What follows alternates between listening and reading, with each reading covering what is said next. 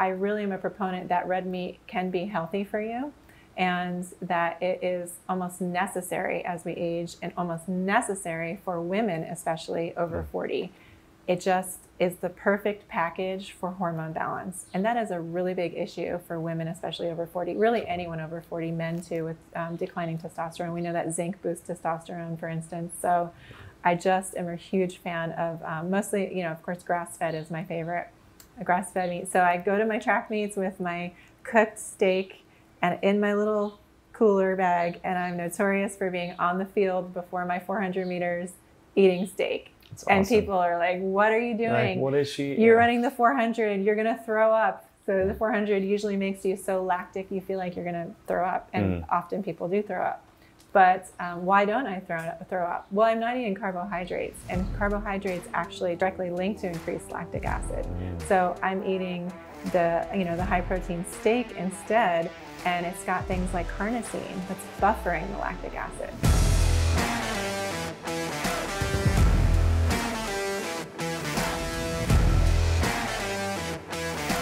This episode is brought to you by our pals over at Health Code, makers of one of the most satiating meal replacements out there that's rich in protein and healthy fats.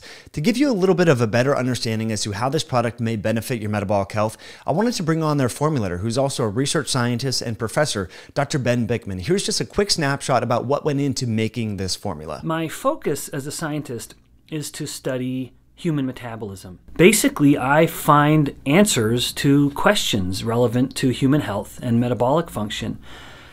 But there's also a part of me that wants to go one step further, and uh, that in- includes actually finding solutions to some of these problems that people face.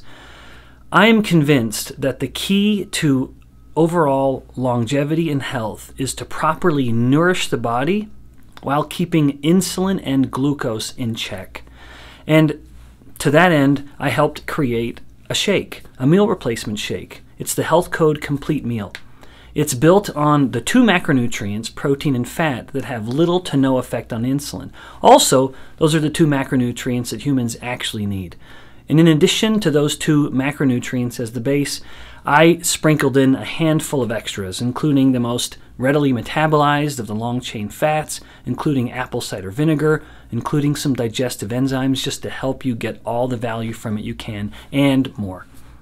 I bet if you give it a chance, you're going to love it. Hopefully, that background and perspective from Ben helped to give you better insights about why pairing fat and protein from whole real food ingredients is better than just having one or the other in isolation. So you can support your body's metabolic health by going to gethealth.com. That's G E T H L T H.com. And please use the coupon code HI to checkout to save. I'll put links below. So in today's show, we talk all about why doing short duration but high intensity exercise is better than what a lot of people end up doing, which is, you know, long volume, low intensity, kind of this long, slow distance stuff. So Cynthia Monteleone is actually running faster than she did as an elite athlete in her in her college days. So, and she's had three children. She's over the age. I think she just she's about to turn 44, I believe. So, uh, she's the author of the book Fast Over 40, which is all about how to accessibly start running uh, at any age. And she has athletes that are in their 80s. She has uh, collegiate athletes. She's working with world class athletes, Olympians, uh, and much more. Uh, I've learned so much from this. And since recording this podcast in person, I've really started to sprint as well. I've noticed a lot of benefits. Um, I, I highly recommend you do this too, especially now that gyms are like throttling back their accessibility and closing and all that. We want to do, be doing more outdoors anyway. So I really hope you enjoy this podcast. I'll put links below and links to her Instagram and links to her books. So here we go with Cynthia Monteleone. Cynthia, thanks so much for uh, that great workout this morning. So I know you had a little meal beforehand. Um, so we did um, 12 150 meter sprints on the Correct. beach. Yes. Which was awesome. Um, With and, uh, a one minute and 15 seconds rest only. And then the last one, we went all out We had four minutes rest. Correct. So just want to, I'll cut to some footage so people can see what we are okay. doing. But, um, you know, I see so many people at the gym, and now gyms are closed, unfortunately. So now, you know, I think this conversation is more apropos or timely because people can get so much done outside. But we see people, I saw just after our, our workout, there was a lot of people just slow jogging on the beach, like and I was just thinking, gosh, if we could help them understand that they can get so much more out of their exercise if they increase the intensity and made the, the sessions shorter and then had rest in between. Um, maybe we can just unpack the physiology a little bit, like why that is, like what was happening in our muscles and why that's better. Like, you know, as an athlete over in your 40s, why is sprinting kind of better than just doing these long duration cardio sessions?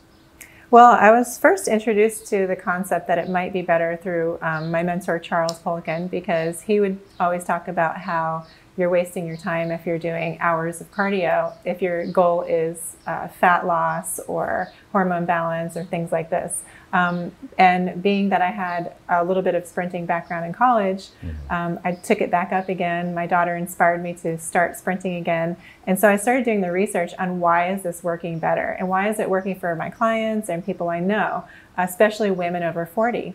And what I discovered is that um, your, your brain uh, increases BDNF for one thing, so brain derived neurotrophic factor.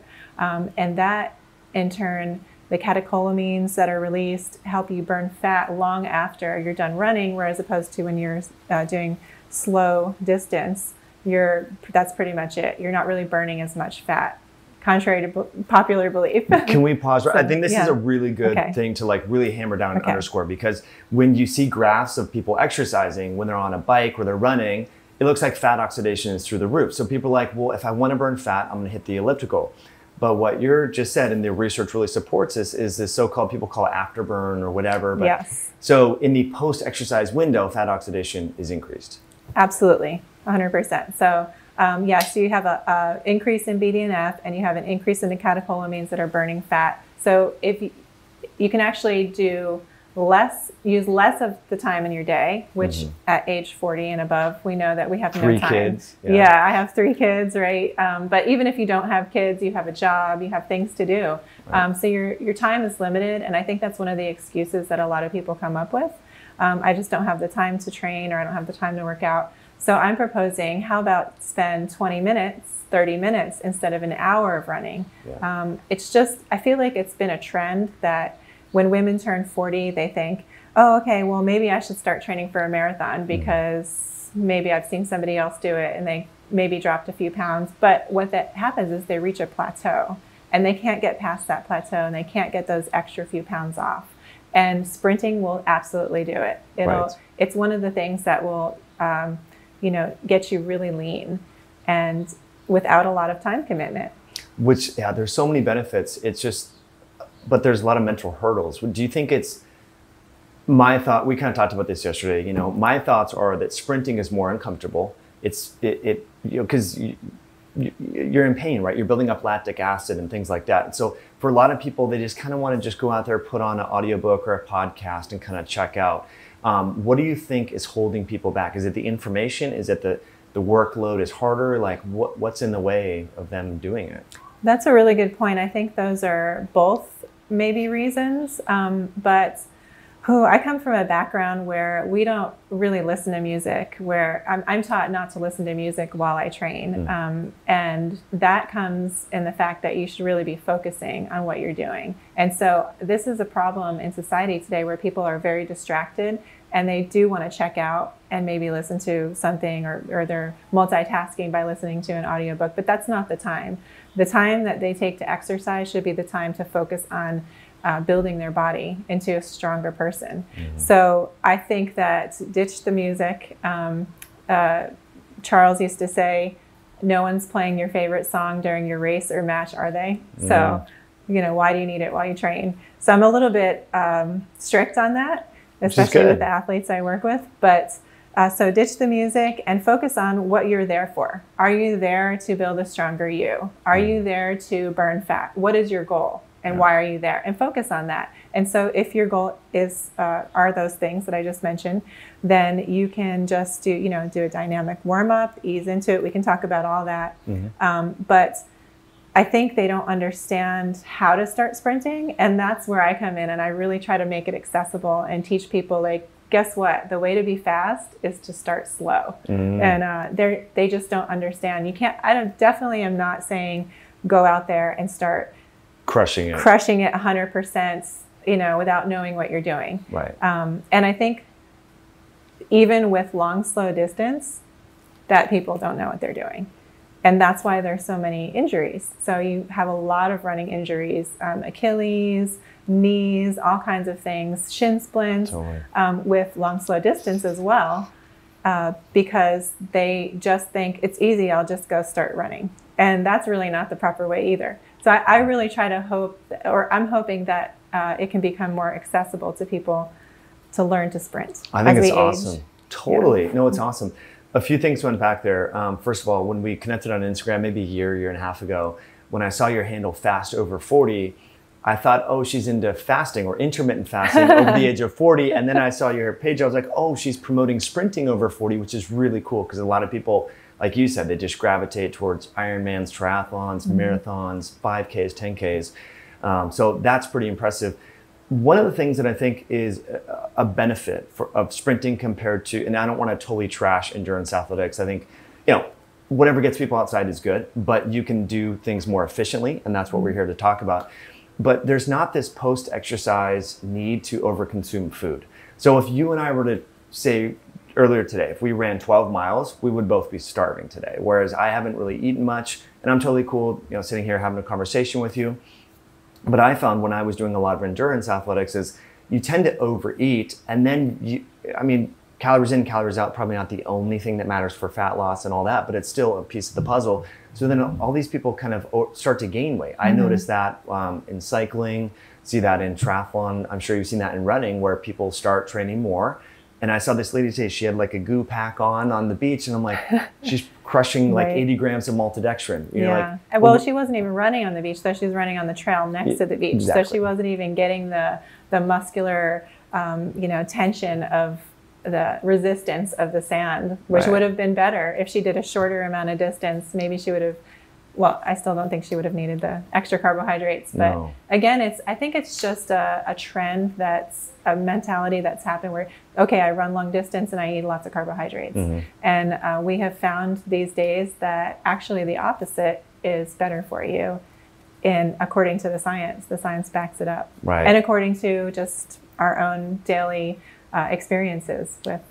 Uh, you know, my athletes, probably your clients as well, and that it just works. Mm-hmm. Yeah, and, you- and like you said, Yeah. not to not to trash exercising because if that's what's going to get you up off the couch, then that's better than nothing. Mm-hmm. But at the same time, um, the gut back microbiome changes when you do endurance running. There was a really great uh, comprehensive re- review this summer that came out, and it longer the longer endurance events tend to create a different gut bacteria that need that's needed to break down the food um, for that long endurance run. So everything changes when you're when you're doing that, and it seems to be, according to the research, a little bit more beneficial to have the shorter, um, more intense running. Sessions. Yeah. which is good. Um, you know, second hurdle a lot of people say is that why I have bad knees or I have bad shins or whatever. You you fill in the blank with the achy part of their body.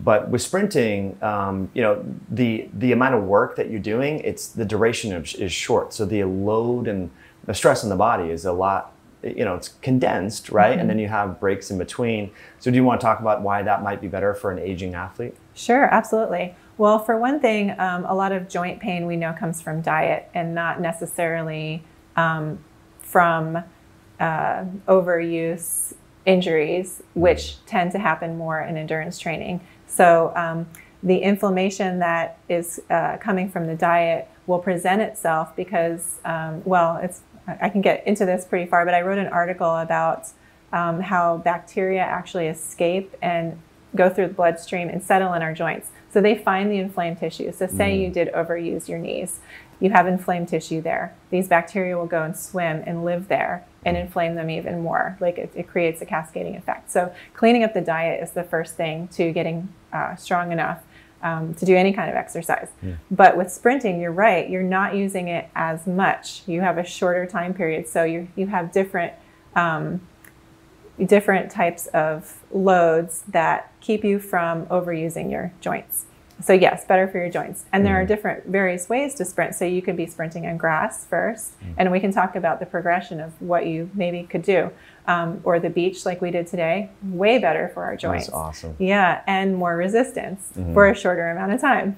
Um, and we still got a very, you can attest to getting the cardiovascular benefit of it. Totally. Um, we got into the lactic zone, which was the purpose of today, was to remain explosive, um, get some cardio, uh, some you know breath going, and then also you know get into the lactic zone, which is the best way to stimulate growth hormone and the best way to burn fat.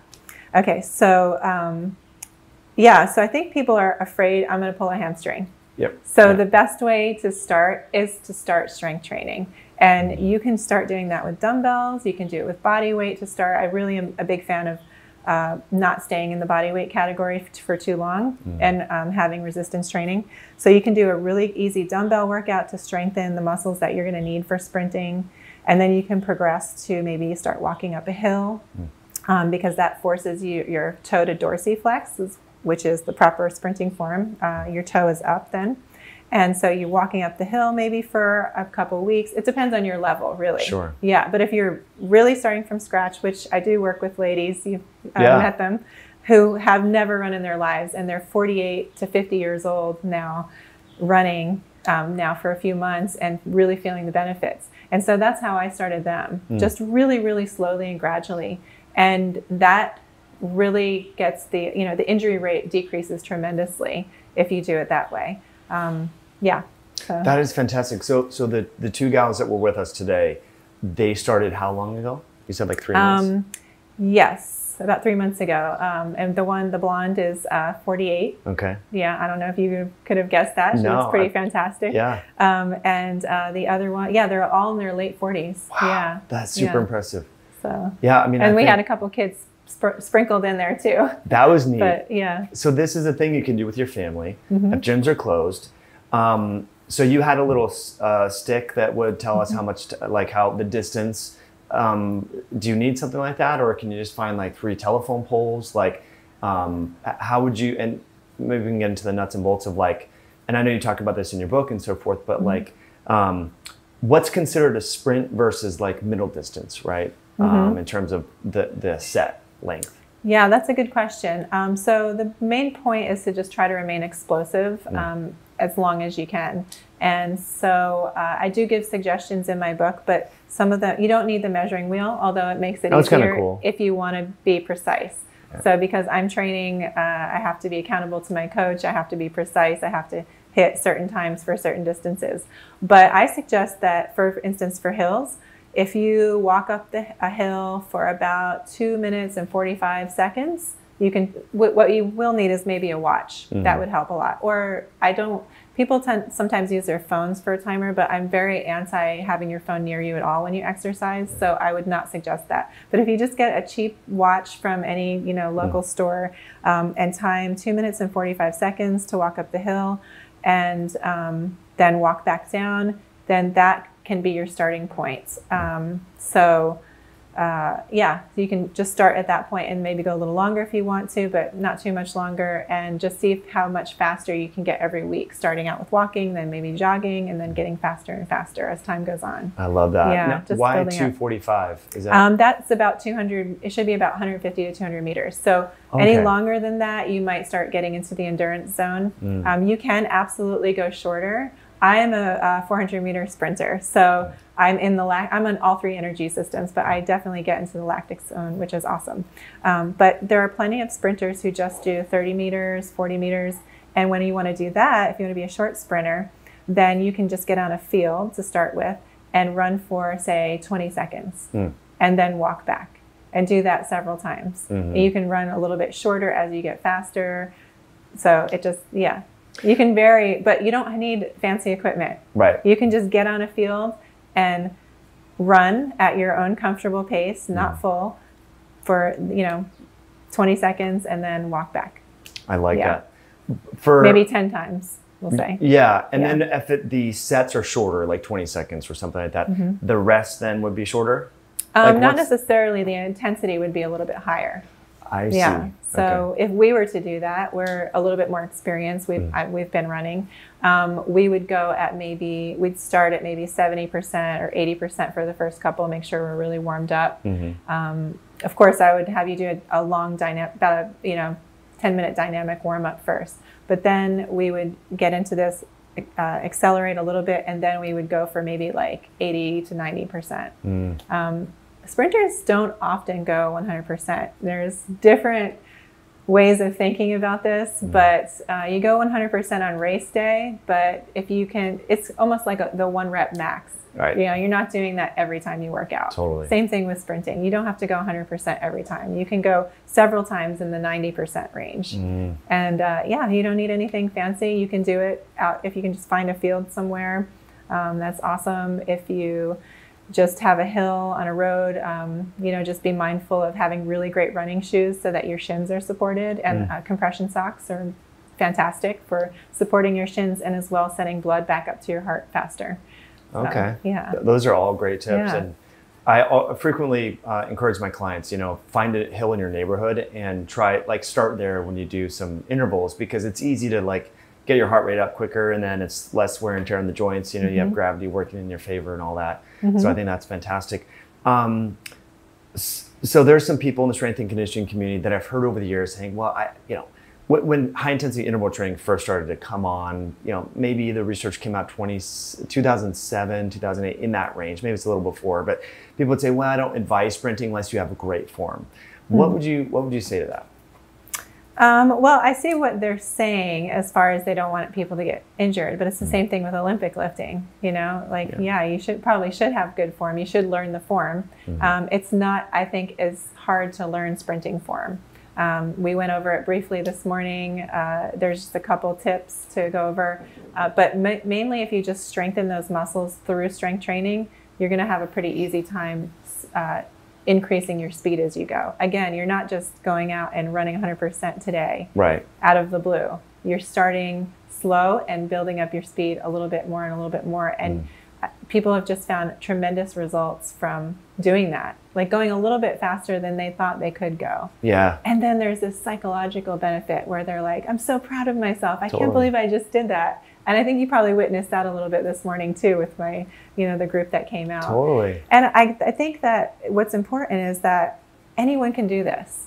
Um, I mean, you know, to your ability, of course, but it doesn't take someone. People always assume that I was some world class runner in college or something like that. Yeah, I had some experience, but I do believe that anyone can start wherever they are. I have friends that are 83 years old and sprinting, Wow. and they're pretty fast. There's a, probably a couple of videos on my Instagram you can see, but um, they strength train three times a week, and they just keep consistently doing it. Mm-hmm. They didn't start fast; they built it up over time. So That is so it cool. really, it it's accessible to everyone, I believe. I, I love Yeah. that. Are they on the beach barefoot as well sometimes, or? They do all kinds of training. Absolutely, yeah. I Yeah. would love seeing someone in their 80s running on the beach, like sprinting on the beach. So Yeah. That's so impressive. Well, my friend Krista Bordignon, she's a multiple world champion. She comes to Maui every year from Canada, and we get together and we run together. And Mm-hmm. That so so I'll cool. have her running. She'll be, yeah, I think she's going to be 83 or 84. She might be 84 this year coming. Mm-hmm. Wow.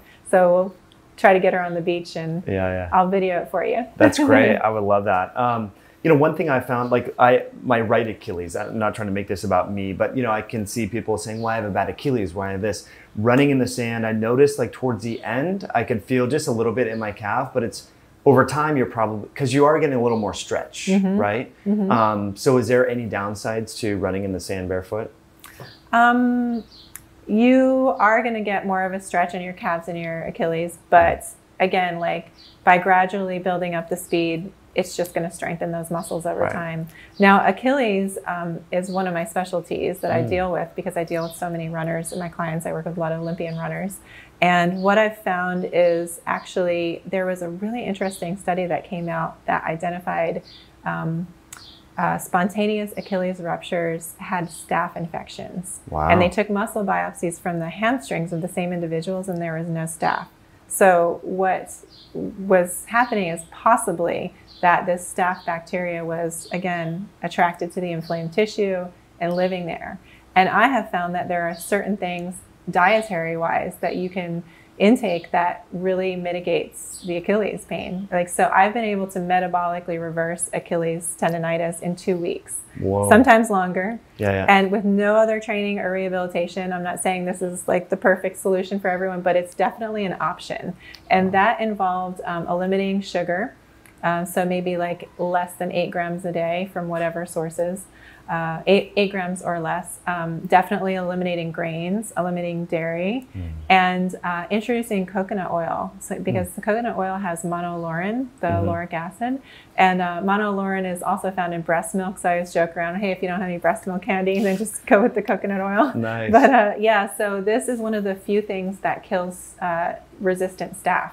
Interesting. So they um, just take shots of coconut oil or mix it into their protein shakes, and within two weeks, that Achilles tendonitis is gone. that is so fascinating. Yeah, So they have a diet-induced bacterial overgrowth or imbalance in systemic tissues that is causing inflammation, weakening the tendon, etc. yes. Wow. And is- um, Charles used to say it's different. For it, he barely started talking about this um, before he passed, but um, if you kind of listen to some of the stuff he used to say, and of course I was um, privileged to have his ear all the time, but so I was, would always ask him a lot of questions.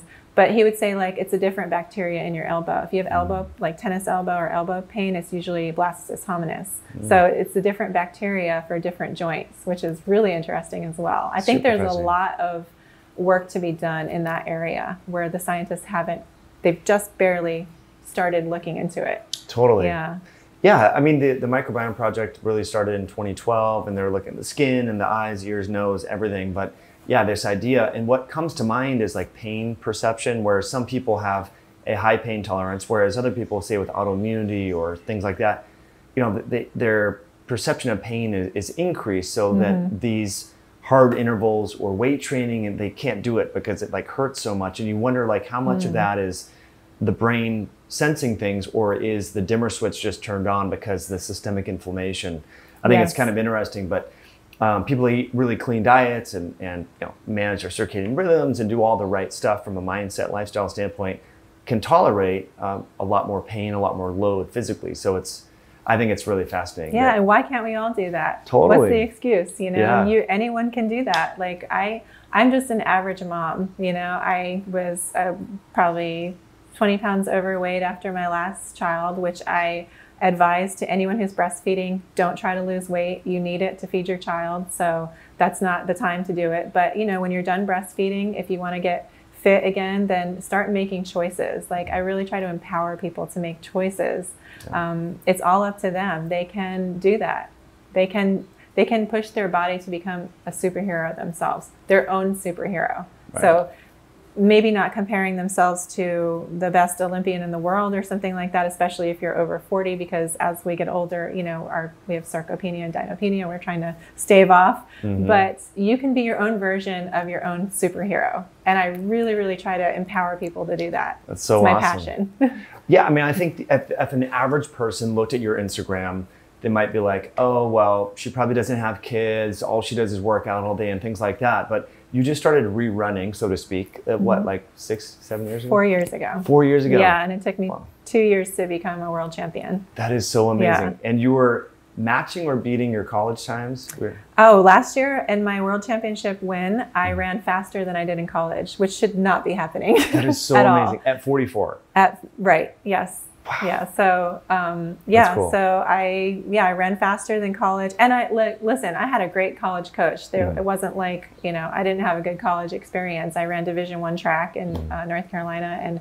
my uh, coach came from Legend of Clyde, Clyde Hart, who coached Michael Johnson. Wow. So I had a fantastic experience. I got faster from high school to college, so I was putting in the work. It was great, Mm. but I was not making great food choices. I didn't know. I just didn't know. Yeah. So my passion is to try to share this information with others so that they can make better choices. And as we age, there's just there's no telling what anyone can do. Right. Yeah. That is so fantastic. Well, maybe let's kind of pivot a little bit more Okay. towards nutrition because I think that's really interesting.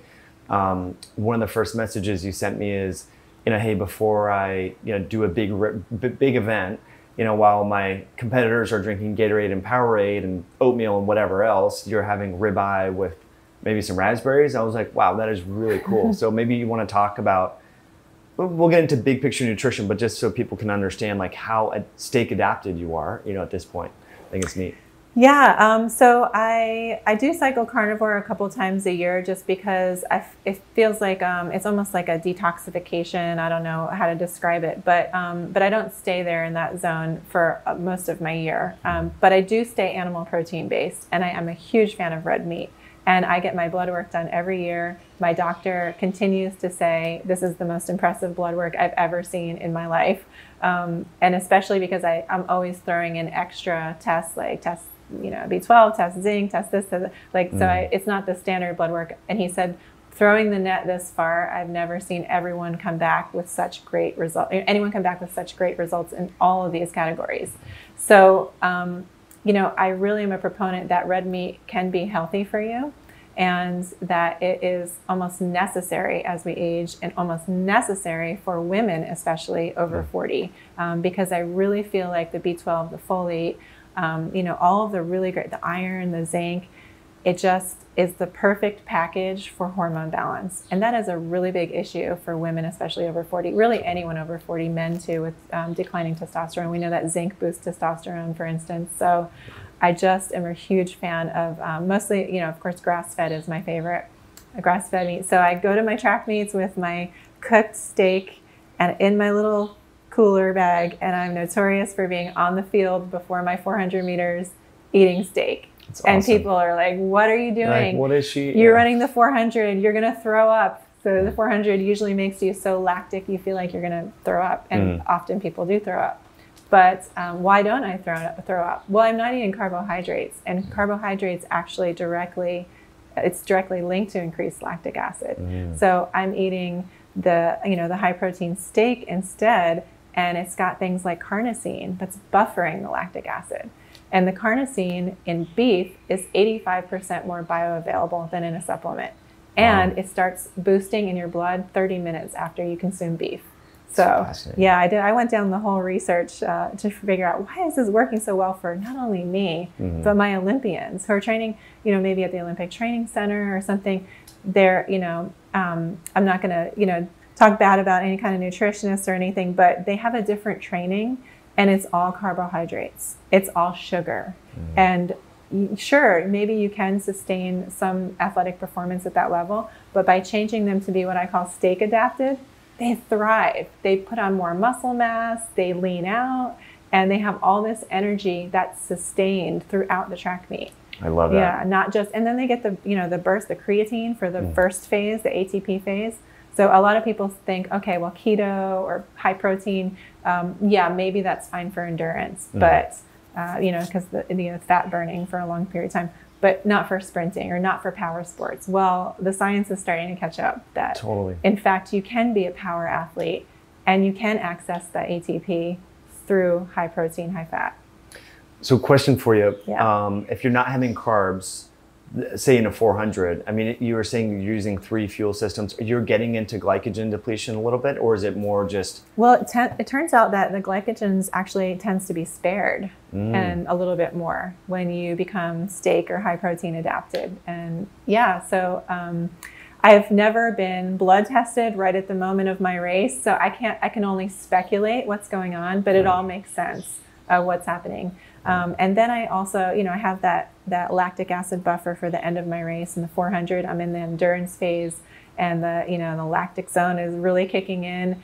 And I tend to be very strong on my finish, not only mm. through learning good form, but also because of this choice of food that I'm eating. So, and I'm not saying it's the only way, but I'm saying it's a way that people need to start paying attention to and totally. having as an option. Well, I think it's awesome, and it, it works long term. We were talking yesterday, so you have these collegiate athletes or high school athletes who are just carving up Powerade, pasta, and this. When they stop training, if they continue to eat that way, they're just going to put on weight usually and increase their risk of diabetes or prediabetes, dementia, all of that, which mm-hmm. starts at early ages. So, well, this is more sustainable, I think, long term. Um, and if it can, if you can keep your power to weight ratio, so you have less body fat, more muscle mass, mm-hmm. you know. And the, the kind of the next question is, so you hypothesize that um, fat adapted athletes, so to speak, or steak adapted athletes, which I love. I think that's cool. um, you, are producing less lactic acid. that's what you're speculating because you're not feeding that so-called glycolysis pathway. From, Yes, Wow. absolutely. And the, the science backs that up if you really get into the mechanics of it. Um, which you know, I was just interested. Why is this happening? Why is this working so well? And why is it? And yeah, for not just me. So it's uh, again, you can get to a great performance in your 20s through carbohydrates. But if you're pounding Powerade or Gatorade or you know you're pounding pasta, you're pounding. Ca- I've seen candy. Oh my gosh, yeah. the amount of candy at marathons. Okay, all of that is inflammatory. Yeah, like that yeah. is so gnarly and so bad.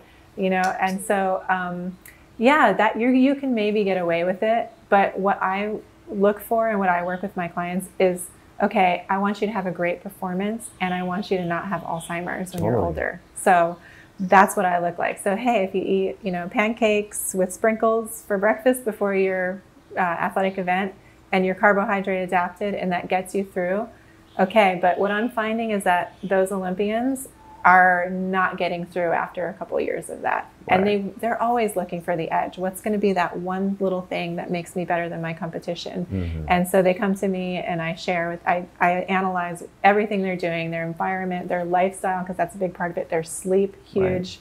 Um, I sleep 10 hours a night. Good so. I think that's a big part of why I'm able to go at such high intensities. Mm-hmm. But there are tricks to, you know, of course, why am I able to sleep 10 hours a night? Right.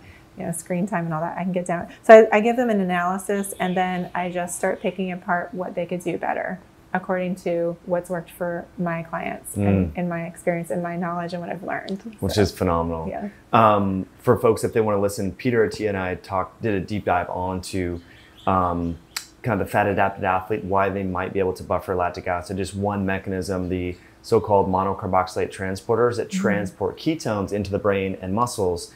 The more fat adapted you become, the more that those are inducible. And so um, the conventional dogma is like, yeah, if you don't have carbs, you can't train, but you're really shuttling more fats and ketones.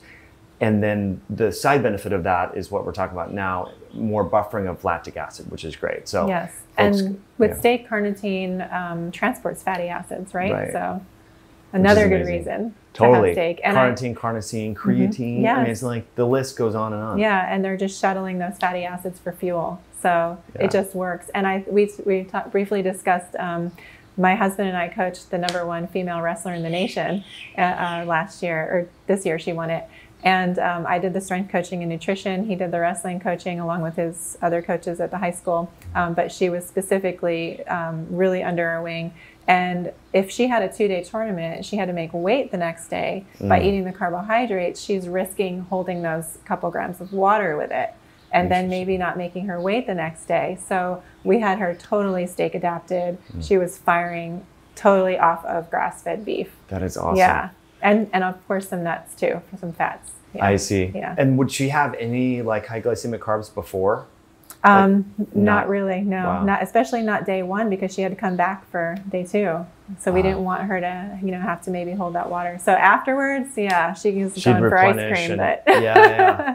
Because Yes. those matches can Yeah. be long, right? Like oh, uh, five about- minutes yeah. or well, the it's six minutes, but um, the uh, the whole day they have to wrestle several times, several Wow. matches to make it to the finals. So maybe three matches day one, three matches day two. Wow. it's very intense. is Wrestling intense. is a really really hard sport. I have a lot of respect for wrestlers, right. which is why I love working with them. That's all, yeah, you work with quite a few. And, you know, another sport like that, powerlifting, is, is sort of similar where you, you, you have these kind of heats and you have to wait for other people in similar weight. Uh, you know, uh, if they can squat, say 300 pounds, then, you know, you go 315 and vice versa. But, but anyway, so you're doing a lot of work over a extended period of time. And so constantly cramming carbs, it doesn't make sense because you'd be sipping on carbs all day. And then over time, that can lead you to crash and insulin goes up. So, um, yeah, I've only done one powerlifting competition, but it was nice, like doing it keto, low carb. You know, had a ribeye, MCT oil, and then periodically I'd have like some blueberries throughout the day. But it wasn't like I was just slamming down maltodextrin like everyone else. And so, Correct. Yeah, and the yeah. crash is really important to talk about because,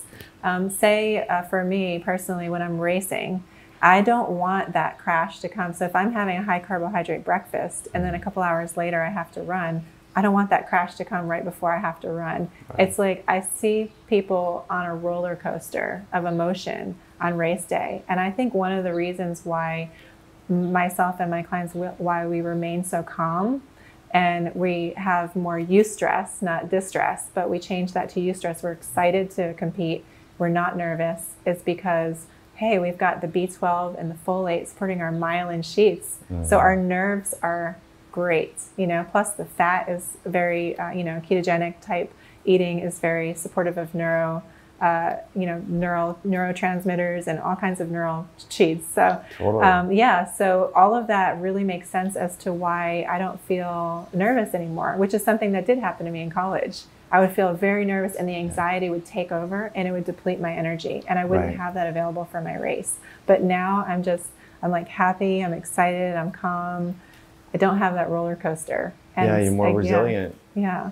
I totally so. resonate with that, and I think this is just a, you know not to change gears too much, but a really important message for parents because um, I think kids are more susceptible to the the you know valleys and peaks and so forth when it comes to food, mm-hmm. and you know we've all seen what happens when kids have a bunch of sugar, they get you know amped up and then they crash, and then it's just like this vicious cycle, and you can really almost see just like if if someone paid you ten bucks and said, okay this kid is fat or eats real food and this kid eats a bunch of sugar like which one is it you can almost pick it out in a crowd of kids because the behavior is so much more you know even keeled and some people talk about the heart rate variability improving mm-hmm. with um, you know being squashing down your glycemic variability and having more ketones so it's really cool mm-hmm. that you know, there's all these side benefits, you know, from athletics yes. and yeah. Well, I have a tip for that actually. Yeah. Uh, you've met my daughter; she's going to be 16. But when she was 11, you know, the hormones started, and everyone says, "Oh my gosh, girls, you know, when they're preteen and teen, they're a handful." Mm. But what I found at age 11 was if I put, if she started to have an emotional, like, you kind of go, "What is happening right now? Where mm. is this coming from? This emotion?" Of course, it's coming from her hormones.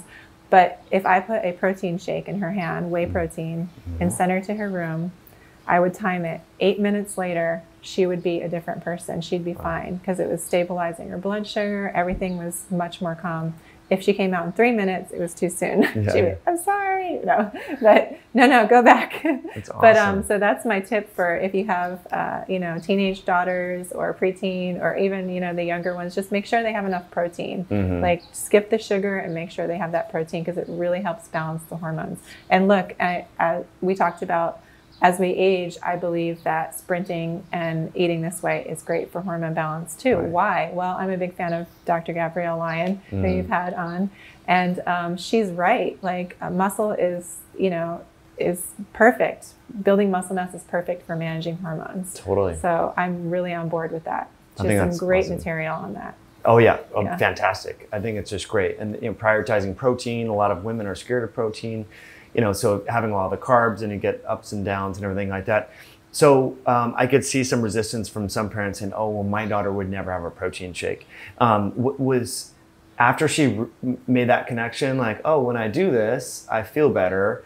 Did it take some cajoling and like bartering for her to, or she just listened to you and said, "Okay, uh, mom." Yeah, she liked them from the start. That's so awesome. um, of course, you know, I only give her grass-fed, high-quality uh, grass-fed whey. I'm sponsored by ATP Labs, so they have a really great quality product product out of Canada. Um, so sh- I think it's you know the fact that it tasted pretty good helped. Mm-hmm. Plant-based proteins, oh man, I've seen them wreck kids. Yeah. Um, unfortunately, so I'm not a fan of plant-based proteins at all. It's tough. Yeah. Uh, having been in the supplement space for a while, a lot yeah. of people don't realize that the even an organic non-GMO pea protein, for example, not they're all bad, but they can bioaccumulate heavy metals, and so mm-hmm. you can get residual arsenic or cadmium or lead, mm-hmm. and you don't see that to the same extent in a high-quality grass-fed whey. So right, and what is that doing? That's depleting your zinc because yeah. the zinc's com- competing for the same receptors, and as we know, zinc's encoded in our DNA. We need it for everything and especially now during these you know pandemic times yeah. zinc is the way to go totally so yeah and you want to minimize all those things that are competing for those that zinc receptor such a good point mm-hmm. um, speaking of that there's a lot of endocrine disrupting chemicals in our environment and this is another aspect that you work with your athletes on you shared a really cool story about i think it was the wrestling client i can't i could be off but um, they were rooming together traveling for an event and there was a scented candle and you were getting a text message like, hey, uh, my roommate has a scented candle. What do I do? And I think this is such a great point because we have candles, we have skin products, we have sunscreen, we have makeup. Like there's so many of these compounds in our environment and, and a lot of people are oblivious to that. So do you want to share the story and then talk about how you know how you coach people around these these sure no problem. Um, so when i do uh, the metabolic analysis in person um, i one of the sites that i measure is the back of the hamstrings and that tends to tell me how many xenoestrogens the person is carrying. Mm. so i can tell right away if they can't detoxify or if they're just inundating themselves with perfumes and hairsprays and all kind of lotions, that kind of thing. Um, it shows up in the back of the hamstring. Wow. And so um, this particular client had that issue. And so we worked with her. She went from 18% body fat to 13, 12% body fat within two months um, just by eliminating all the beauty products in her Amazing. house and switching to coconut oil, organic coconut oil for lotion mm. instead of lotion. No perfumes, no scented anything. So she had really worked hard yeah. to get there. And as we know, I well, I think you probably know, the best athletic performance happens for women between 12, you can go down to 11, sometimes 10, but 12 to 15% body fat. Wow. And for men, it's 6 to 10%. So this is the optimum window, optimal window for athletic performance. So the fact that she went from 18 to 12 to 13, she, her performance just skyrocketed in those eight weeks. So she had gotten to the world championships in Doha, mm-hmm. and she's texting me, "What do I do? My roommate just bought a scented candle, and what do I?" And I said, "You got to tell her to get rid of it. Tell her I said so. You know, whatever yeah. it is." So she um, she said, "Listen," like she tried to explain it, and the roommate said, "Hey, you've been killing it. You've mm. been doing so well. Absolutely, I'll get rid of it." And not only did my client have a personal best at that meet, but her mm. roommate did too. Wow. Yeah. So I'm not saying it's because she got rid of the scented candle, but maybe that helped a little bit. Um, so yeah, you, all of those uh, toxins are just making our body work harder to get rid of them, and we could be using that energy for other things like being happy, right. sleeping better, yeah. you know, such a good point. sharing our passion with others. Um, so you want uh, people when they're fatigued or they don't have that energy. A lot of times these endocrine disruptors are are to blame, and they're just making their hormones totally out of whack. I mean, we really yeah. could talk about that for hours. Know. You know what what it does. But yeah, so I have them eliminate anything scented. Um, there are not allowed to have air fresheners. Uh, essential oils occasionally are mm. fine, but not to overdo it. Sometimes people diffuse them all night long while they sleep, and I don't think that's beneficial personally um, from my experience. But yeah, so they just they clean up their environment. Um, I tell them to maybe choose to live in a place that's not polluted. If mm. you know if they live in a polluted city, say maybe you want to think about working somewhere else if it's yeah. really this big of a problem. Uh, so yeah, people can do that now, which is great. If they're working from home, for mm-hmm. example, yeah, yeah. I I'm very grateful for where I live. Yeah, I mean, so I can't beautiful. complain. It never gets old. Paradise every day. But I chose to live here. Mm-hmm. You know, so and uh, I'm very thankful to be here. Right. Yeah. Yeah. You have to prioritize, like, make that choice. You mm-hmm. know, and, and there might be some. There's pros and cons with every every choice. You got to like figure that out, but so the cellulite, or sorry, that's how, that's where I was going, but but storing fat on the back of the hamstring because mm-hmm. I do see that with a lot, like just on the beach today, with like women. quite a few people. Mm-hmm. Um, that's that's a trouble spot, and mm-hmm. you know you, you think about well, why isn't that for men? What, they don't generally. Well, of course, their shorts aren't generally that high up, but but men don't use as much generally um, persistent organic pollutants in, mm-hmm. in the form of hair products, lotions, perfumes, all of that. You know, Correct. I know that a lot of women, eh, you know, all sorts of skin products have mm-hmm. you know these compounds. And not only that, but it gets in the DNA code. And then future generations, they have children, they already are predisposed to carry weight there because they have lived in a toxic environment. Yeah. And unfortunately, it seems to not be getting better. So we really have to empower ourselves to make those choices ourselves to clean up our surroundings. It's so important. Yeah, yeah that transgenerational epigenetic effect so huge. Yes. so a lot of parents um, now here you probably sweat a lot being outside because it's pretty warm year round. But what about sauna therapy and heat and contrast? Um, oh yeah, absolutely. I'm a big fan. Mm. Um, that was one of the first questions I ever asked Charles was, "How do you feel about ice or ice baths?" Nice. And he, I don't know, when you ask Charles a question, sometimes like he would go through the encyclopedia of uh, documents in his head and he would just give you an answer and sometimes not explain why. But he said 36 hours before my competition, I should take an ice bath. And um, when I talked to some other people about why, because I never did ask him why, I just, okay, as Charles said, I do, you know, that's what I would do and it would always work. But um, it has to do, I think, from this with the circadian rhythms. He said it would boost testosterone if you take an ice bath before competition. But icing after running, absolutely not. Four to six hour window, no icing. Um, uh, four to six hour window, no stretching, no static stretching. Uh, so definitely some tips there. But sauna is fantastic. I'm definitely a fan of sauna and of the occasional ice bath. Yeah, but just so the post-exercise ice bath is Mm-hmm. so-called contraindicated because does it slow down recovery and everything like that? Yes, your muscle fibers can't intertwine and heal the way they're supposed to because they need that inflammation, Mm. right? So So it's kind of like taking ibuprofen or, or an antioxidant Mm-hmm. Correct. Mm-hmm. after exercise. It, it inhibits that signaling that's adaptive. yep, Interesting. Yeah. Yeah. you know, you see a lot of people like I remember when CrossFit got really popular, like in 2012, 2013, and it was like everyone would do these big CrossFit things and then jump in ice baths. And I remember thinking like, well, there is because that's when the brown adipose tissue research started coming Yeah. out too. And I was like, I don't know that post exercise that's always ideal. Mm-hmm. Um, and I think this this little nuance, while some people might already know this, I think it's helpful because we see, say, LeBron James after a basketball game will be in the hotel room with a bunch of ice, and it's like, well, Mm. maybe not ideal. I mean, who knows when the game was and the the Yeah. times? Yeah. And um, for me personally, my experience, I had a little bit of like a hamstring tendonitis when I first started back running. And I used to ice after I ran every day because it was bothering me a little bit. And when I stopped icing, when Charles said, no, no, no, don't do that, and I stopped icing, my injury went away. Wow. Yeah. So it actually was interfering with healing that and making it stronger. So I definitely have a personal experience with that. And, um, you know, I don't have to knock on wood. I've been injury free. Injuries don't keep me from competing at, uh, you know, the highest level. I ran. Uh, I ran faster last year than all the high school girls in the state, which Wow. you know is fun. But I'm why because I'm injury free. And why am I injury free? Again, back to the choices I make. Right. And you can make those choices. Anyone can make those choices. You Yeah. Know? And so that I, my passion is to, to give that option, you know, to have people maybe have the uh, knowledge or the information to make those choices as well. which is fantastic. Yeah. Um, so realistic timelines for people like they're sitting on the couch, haven't been exercising. What you know to kind of button this conversation up to make it practical for people.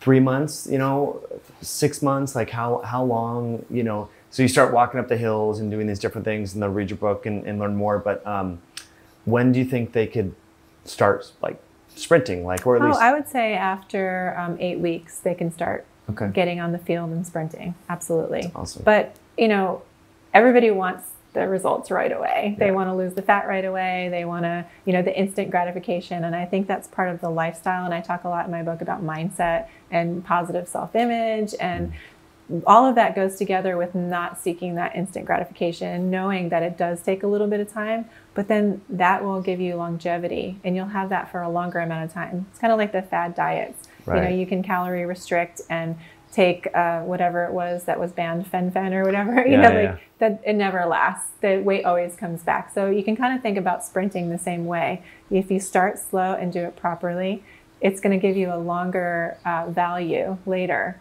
And it's going to keep on doing that fat burning and keep on keeping, uh, you know, having your BDNF high, uh, so you can keep your brain plastic and uh, learning new things and sharp, uh, staving off Alzheimer's, for instance. So yeah, you can have that for a longer period of time. That is yeah, really, I would say eight weeks. And I'm very inspired by the um, where I live in the ancient Hawaiian Kukini, Mm. who were messengers for the kings. They were runners, specifically trained to run here in Hawaii. Interesting. So I, I think about them, you know, the, the ancient Hawaiians and how they dialed in that running, and I kind of try to take inspiration from that.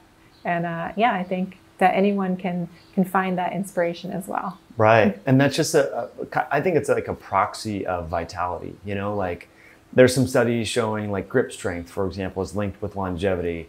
But like, man, you know, are you physically able to like run that 80% like max effort? Like, I, you know, if you can't do that without totally falling apart, probably not a good a good sign for things to come, right? And of course, people have joint issues or hip replacement things they got to work through and all that. But it seems like um, I don't know, I would feel mentally it's nice knowing that you're able to do that, right? So why not train for that? And um, I think, yeah, just and, and, the other side, you know, to to kind of talk about to kind of wrap things up here with like endurance is like if you go to the gym and you do the elliptical or you get on, you know, you do whatever it is, you're not there's no benchmark. You're just kind of doing the same effort and intensity that you probably did before. There's no you know, you're not tracking like your splits or saying, hey, I, you know, last week I did, you know, this in 50 seconds. Now I'm doing it in 47.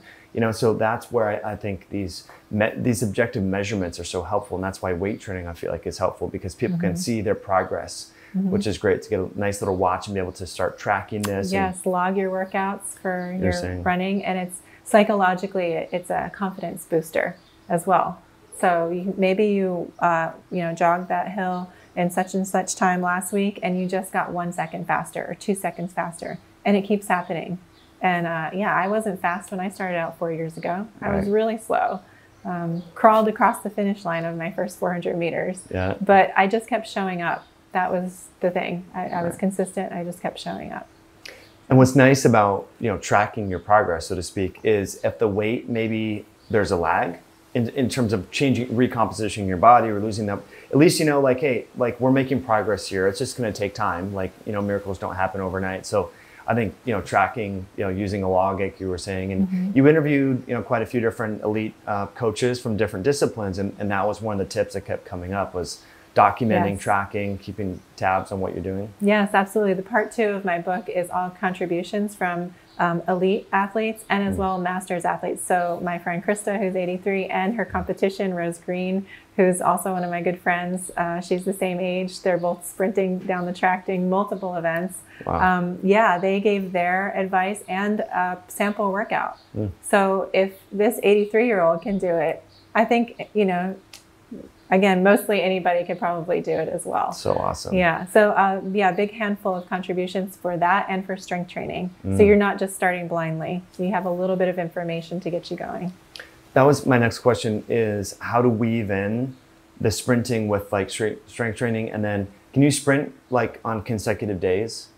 So oh, like, that's a great question. So one of the things you said earlier is that people see my Instagram and they think I just train all the time. Yeah. But yeah. I actually don't train that often. I run three times a week, mm. and I'm done within an hour, and um, or really less than that. Um, and then I strength train four times a week, okay. and again less than an hour because if you're in the gym longer than an hour, Charles used to say, you're making friends, not progress. Yeah. yeah. so um, I subscribe to that theory as well. And it's just a really, I have a great strength coach, Malcolm William from Source Performance. Um, and I also do strength coaching myself, but I get that job done because I'm focused on what mm-hmm. I'm doing. I have all my time under tension and tempo laid out. Um, and again, with the strength training, I think that if you're older, maybe you think, oh, I can't lift heavy weights. Well, if you do tempo training, I talk about that too in my book. You do tempo training, which is focusing on lowering in the eccentric portion slowly, say, so if you're squatting, maybe you go down in four seconds. You don't mm-hmm. just go down, back up, and bounce with heavy weight. You're using less weight you're recruiting more muscle fibers and um, you're less likely to get injured. Mm-hmm. So it's Which less daunting for um, older athletes. Totally. There's yeah. so, or you could do bands, you could do chains. Like mm-hmm. there's so many options now for resistance training that we didn't have maybe a decade ago that make it very so accessible for mm-hmm. pretty much everyone. Um, but yeah, that that the tempo. A lot of people don't think about you know the eccentric versus concentric and they just kind of just go through the motion mm-hmm. and that time under tension seems to be really beneficial um, and probably reduces your risk of injury you know yes so absolutely yeah and so um, i think to answer the second or uh, nuance of your question i don't do them back to back i make sure i have time in between again four to six hours is ideal so i'll run in the morning and on mm. the same day i'll strength train and then i take the whole next day off oh, so cool. recovery is just as important yeah. as the training, as we know. And I have a great mountain stream by my house. I yeah. can get in that, get some soak up some negative ions. I can go to the beach. Right. Um, but just really uh, think about healing my body on those recovering days, recovery days. So um, that's you know three days of the week I'm training, um, and maybe a fourth morning for the strength training. So it's really not that much time. Which is awesome. Um, I think a lot of people would look at you and be like, "Oh, she works out all the time." So therefore, I need to work out all the time. And I think a big and the, the female clients I've worked with over the years, um, and past girlfriends and all that, like they they all tended to overtrain. Like so more is better. And then they get into this rut where they're caffeinating before training and then that's affecting their sleep. And then it's like they just, just keep digging themselves into a hole. Would your younger self have listened to you now? Like if you were in your 20s and heard, and heard a tape of you, like go back, you know, back in the future, would you have believed what you're saying now? Or is there something about Oh gosh, it's just such a different day and age with the internet and all Yeah. that. But um, I was actually just recently invited to speak to the team at my uh, alma mater college, Cool. and I told them everything. Yeah, yeah. And that they were like, "Oh, the athletic trainers like we're sponsored by Gatorade," you know. Yeah, uh, maybe saying said some things that were contrary to their program, uh, what they knew before. But I just I give the honest opinion. Mhm. Um, I give the tough love. That's just who I am. I tell you straight how it is. Yeah. Uh, you know, what's the boys want to know? What's the best way to boost testosterone? I said, sleep better. And here's how to do it. Here are five tips that'll give you better sleep. Yeah. What do you mean? I can't go on my phone before bed? No, don't go on your phone before bed. Dark like a cave, 68 degrees, you know, like all these things I just rattled off. So if I had had visited, if I had someone visit my team, I Mm. think, and talk about that, I would have started thinking about it more. Right. But I just didn't know any better. Nobody Yeah. did, and that was the line. The line of thinking back then was pasta party before the track meet the night Mhm. before, you know, and uh, that's what we did. I'm So- sure teams still do that, right? Like, Unfortunately, I think they do, even though Yeah. it's very old fashioned. And the first uh, carb loading scientific study, they actually they would fast pretty much and not train the whole week before the race and then carb load. So they did not have carbohydrates that whole week before, but that's not what's happening now. Nobody, everyone skips that part. They forget about that part. I didn't know that Yeah, either. yeah. So if you look at the original study of carb loading, I believe it's like the 50s, sometime, somewhere around 1950s, they came out with it. So in that context, it makes sense. So you're really depleting your glycogen. You're Mhm, doing a- a workout, and then super replenishing it, so to speak. You know, and then yeah, then your next competition, you know, you, your your everything is full. But if you And you're recovered because You're you're, not training all week. Right. Like very minimal. Nobody such a good that. point.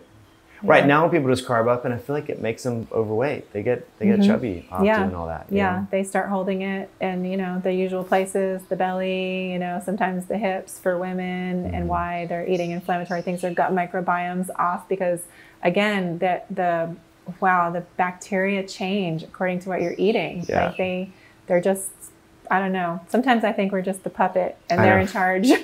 You know? Seriously. I think mean, there's a lot to learn, and then al- also on our skin, like uh, we talked about the ocean water. There's there are billions of viruses in one liter of seawater. Not all viruses are bad. We Hmm. Need the good ones uh, to keep everything in balance. So That's right. Why I bring my hand sanitizer to the Yeah. beach. No, I'm just kidding. Yes, we must bathe in hand sanitizer Oh, before we get in the ocean because it'll protect the reefs. No, I'm just kidding. Opposite. it's crazy. Yeah, I mean, I think the the the idea when when there's like a a, a microbi a, a microbe in lay press, people think that they're all bad, and we forget about commensal microbes, commensal viruses, the virome, you know, all of that. So uh, that's really interesting. Yeah, it means we were talking, you know, so going up in the ocean, I don't like to rinse off. It's like let let whatever's on there, salt, viruses, all that, let it do its thing with the body. You know. yeah, it's extremely beneficial in my opinion. Totally. Yeah, and um, coconut oil for some reason, I don't know. I haven't broken it all down yet with the science. Maybe that'll be my next reading Yeah. uh, journey. But for some reason, uh, the coconut oil really keeps that microbiome in your skin in balance. So when Mm. people say, "Wow, oh my gosh, you have such great skin," this and that, and I haven't worn sunscreen in ten years.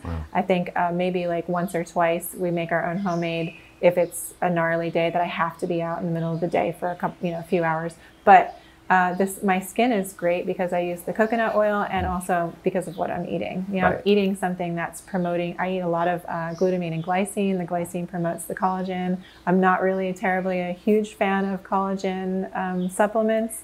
I think just take the glycine and make your own collagen. That's just my opinion. Seems to work better.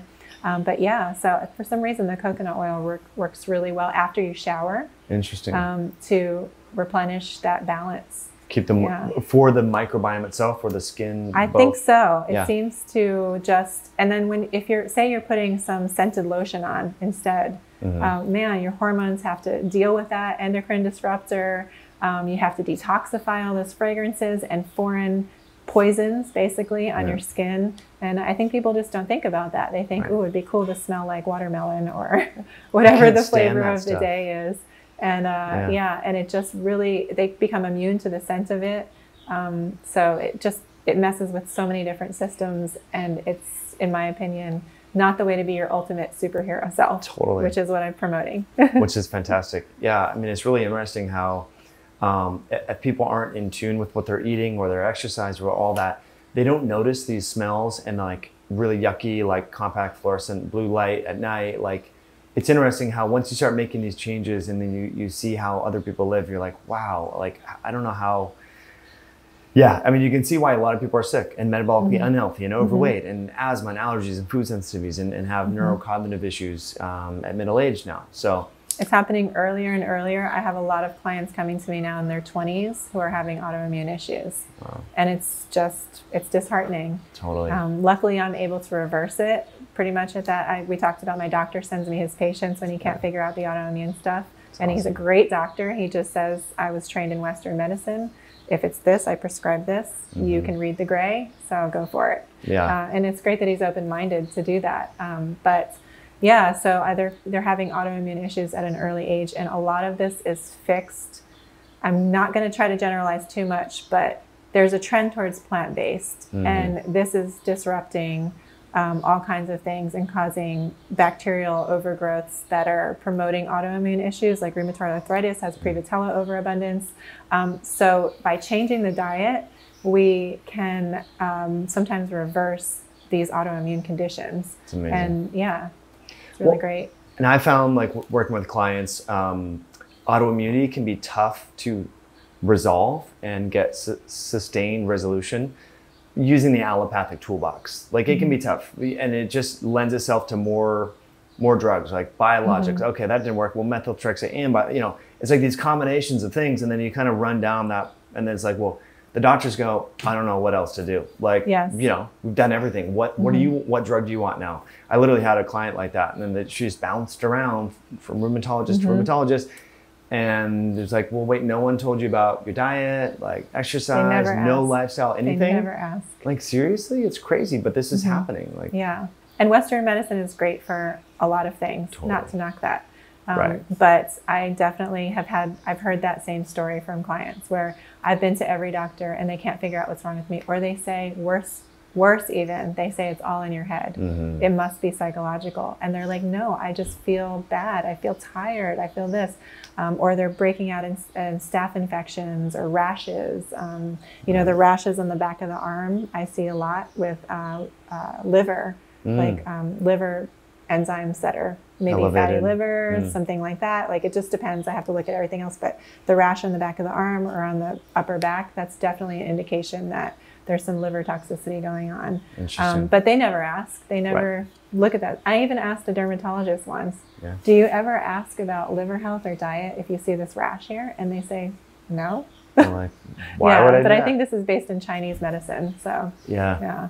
Well, oftentimes liver enzymes creep up and they're within the normal range, so doctors don't even say anything about them. Like liver Hmm. Normal. AST or GGT of 47. It's Right. like, oh, it's But what midpoint is in the normal? range. Yeah, I mean, it keeps getting more unhealthy, right? Exactly. So, That's yeah. the key.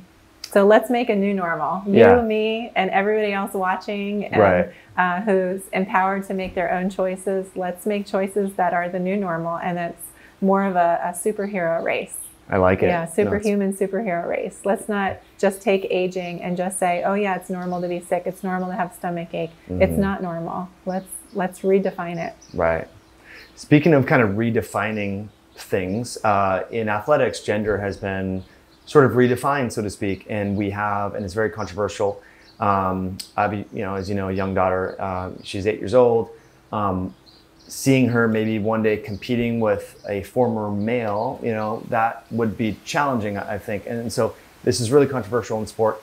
Um, what's the big picture here and what's the future look like for, for young female athletes with um, the, the increased prevalence of transgender athletes competing in the female division? Well, I'm, I'm really glad you asked about that. Um, biology and common sense tells us that men are different from women. Right. And if you're at all in the nutrition field, you know that women have challenges, especially as athletes, like, say, when they have their menstrual cycle, they need more iron.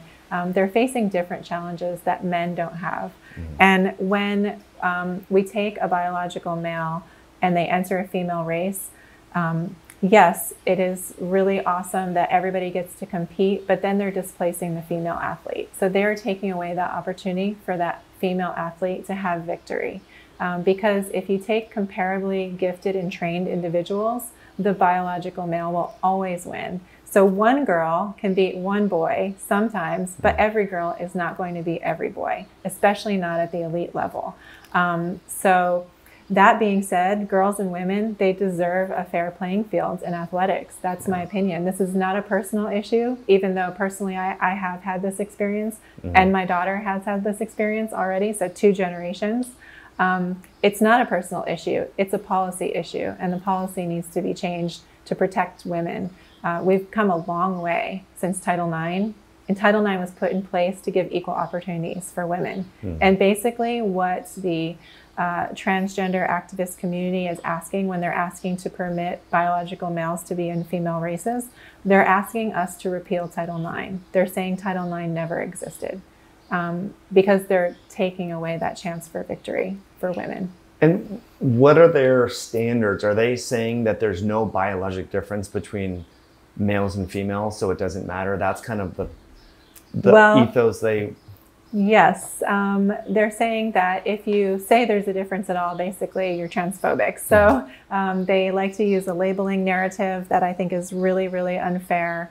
Um, they like to pinpoint gender instead of sex, um, biological sex. Mm. And even with hormone replacements and gender reassignment surgery, uh, one study that came out last year said that males are still stronger and faster than females even after so they can meet the hormone requirements at the elite level mm-hmm. they can meet the um, you know they can choose to have gender reassignment if they want they don't have to um, and the rules right now for the olympic committee um, and if they meet those uh, they'll still have more muscle mass and a stronger skeletal mass that gives them a greater advantage over women and again it's not a personal issue it's just right. a policy issue and my daughter um, and everyone else's daughter deserves a chance to be seen for scholarships. Like, uh, you know, the girls in Connecticut were displaced and not going, they didn't go to the, the finals, so they weren't seen by maybe some college coaches. Uh, and because it's happening more and more, it needs to be addressed. And uh, we just need to, you know, we want everyone to participate. Yeah. So let's let have everyone participate, but let's not displace the girls just for, you know, the agenda. Mm-hmm. And and what do the transgender athletes say? I haven't. I've only followed this like recently. What what is their position like? Well, they, they don't perceive an advantage. Right. Um, that... No, they say that um, they, the the bottom line is that they uh, they identify as a girl, and so everyone should treat them as a girl. Mm. Like, and if you think or say that they're not a girl, but in, in any way, shape, or form, then you're transphobic. so it's just a really cut and dry narrative that needs to be, it shouldn't be a, a partisan issue, it shouldn't be political. Um, and if you actually poll all different types of, you know, Democrat, Republican, whatever, they're all on the same page where mm-hmm. they'll say, yeah, it's really not fair. And I think most people just know, don't think it's going on, yeah. but it's going on uh, more and more. And it's going, it happened here last year. It mm. happened to me in my world championships. Wow. Um, so it's just, it's happening. It happened yeah. to you recently. Uh, a couple of years ago, mm. I did race uh, a transgender athlete, male to female. Yeah, but I, I won my heat. But that person, I think that's a, an instance of not comparably gifted and trained at that level because then six months later, they came back and ran a different race mm. and uh, took the silver. Yeah, wow. and and they're very, you know, again, like they're um, yeah, they they just want to be where they want to be. You know, mm-hmm. they want to be a part of the team um, where they identify, and no one's saying don't participate. It's right. not a ban. Like I think sometimes the news headlines will take a like the Idaho law, and they'll say ban, but it's not a ban. We we feel compa- I feel compassion for everyone, and I think how much better if we can solve this issue, how much better would that be for them? They would feel more comfortable racing as well. Totally. So I have compassion for everyone involved. Right. Yeah. Could there be uh, maybe the pool isn't big enough, but like a transgender division? You know, mean- I am not in charge of the policy, Yeah. so I can't make that decision. But I can tell you that we've the the leaders of the world have been around this Hmm. question over and over, and the bottom line comes down to it. It's just it's displacing women. Yeah. So the the female elite 400 meter record um, uh, set by Sanya Richards Ross can be beaten last year by almost 400 high school boys. And in high school, there are no requirements in the states that allow it. So they could just show up one day and say, This is how I identify with no hormone suppression, no gender reassignment, which, you know, again, is what their, the policy allows. And they could beat the fastest time any American has ever, woman has ever run as a high school boy.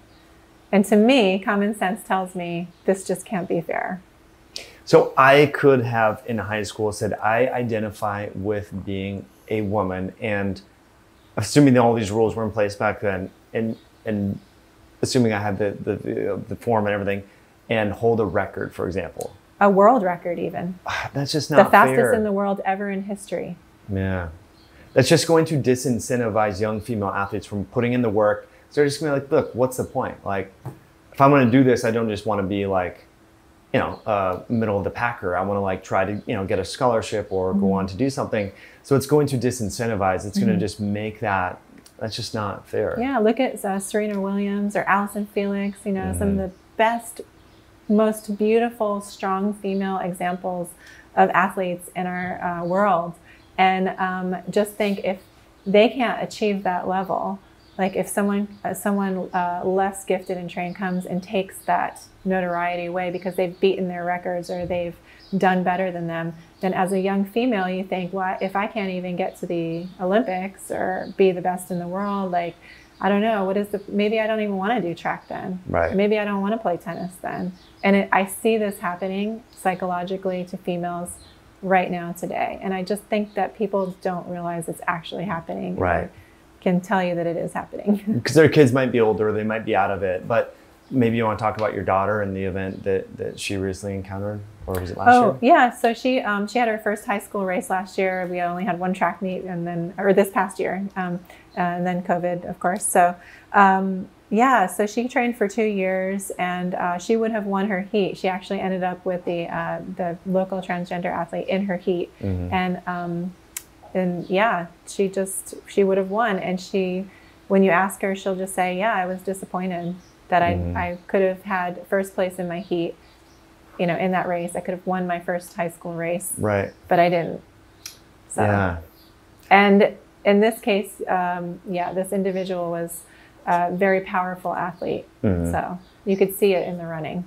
yeah. Yeah. almost immediately, right? Where, mm-hmm. Whereas Yeah. at that level, it would be more incremental at the finish. You would see. Yes. okay. Yes. So probably with a couple of weeks, I mean, I can't speculate. With a couple of weeks more training, state champion. I Yeah. mean, who knows? You know. Wow. Yeah. So.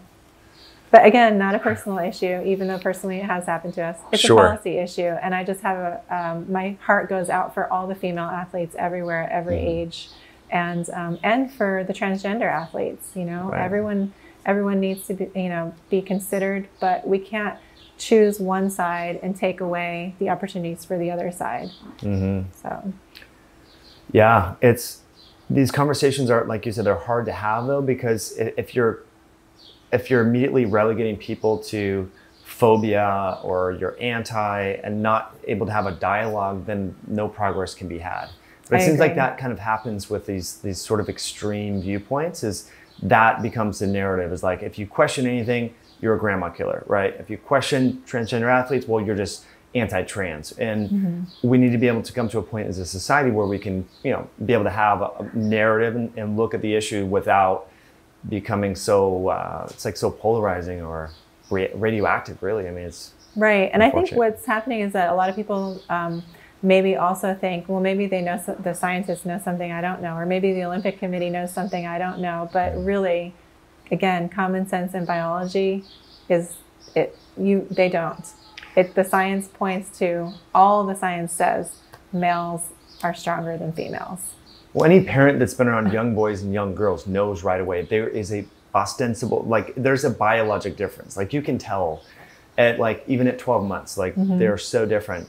But I could see how the Olympic committees and the schools are so worried about being canceled by the cancel culture and Mm-hmm. Twitter that they're like they don't want to touch it. It's easier just to like accept Sweep it under the rug. Right, and just worry about it later, you know, Mm-hmm. because if they start saying, well, we have to create a different division or a different league or this can't happen, then the mob essentially will come after them and then who knows what. Mm-hmm. Yes. Like people I are was so told to keep quiet Yeah. by someone very high ranking and they said for your own safety you should probably keep quiet and I said I'm you can't silence me. I won't be silenced. Good. So I'm going to speak up because I don't believe this is fair.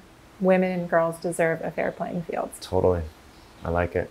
Cynthia, thank you so much for coming on and sharing your information. Yeah. Uh, so you're on Instagram, fast over 40. A lot of great tips and information for people there. You have the book, uh, and then if people want to connect with you, maybe be you know uh, be a client of yours, how can they connect with you? Um, just through my website, mam808.com. And uh, yeah, just send me a message. And uh, I do phone consultations for people on the mainland. I give an extensive interview. Um, or in person, I do a full metabolic assessment where I measure 14 different places on where you store your body fat. And the ratio between those places tells me all kinds of information on how I can help. That's awesome. The body caliper, like that. Yeah, I look. I think you have it. Maybe we'll cut to some B-roll and show that. That's really neat. Um, in closing, what's like the, the obviously you've learned so much. We all have with mentors and research and scientists and all that. Like if there's one thing you wish you, you would have known or started implementing in your life earlier, um, what would it be? Like it just like Oh, that's a good one. Um, uh, gosh, I think it would be um, just to take care of my sleep hygiene mostly and um, eat more steak. nice. I like that. yeah. It makes such a big difference. Sleep hygiene. Yeah. Getting the phone out of the bedroom, blue light, blue blockers, and all that. Yeah. Yes. And also, one thing that uh, some people will say is, uh, oh, well, my dog sleeps with me or my cat wakes me up in the middle of the night. And I'm like, look, your sleep is more important. I'm sorry to be the bearer of bad news, but it's more important. So find a way that you can get the best sleep that you Mm-hmm. can. Um, so if that means that your husband snores and he needs to sleep in a different bed, then do it. You can be intimate at a different different time. Right. You know, like there are ways to work around it, but you really, really, really need to prioritize your sleep. We didn't get too much into the sleep, but I do have a whole chapter in my book about it. Um, and So important. yeah, and of course, injury rate increases if you have poor sleep, but everything. So one of the ways uh, people get Alzheimer's is poor sleep. They know that now. Um, the uh, glymphatic system is busy cleaning out, especially in the later hours in the morning. So that the longer you sleep, the better you can detoxify. And uh, yeah, so I would say I would just make sure that I got really good sleep from the start. Totally. yeah, because when you're younger, you can get away with crappier sleep and like pull it off because you're resilient, you're younger. But as you get, you know, closer to 50, 60, and 70, right, you, you definitely rely upon um, all the, the, the wonderful benefits that sleep offers. So amazing tip. Uh, thanks again for coming on. yeah, thank you for having me.